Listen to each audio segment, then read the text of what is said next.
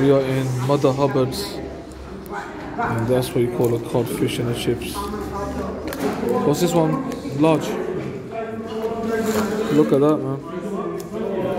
Look at that for a monster right there. Jaws. We're gonna have that right now. This is during Ramadan month. Thank you very much.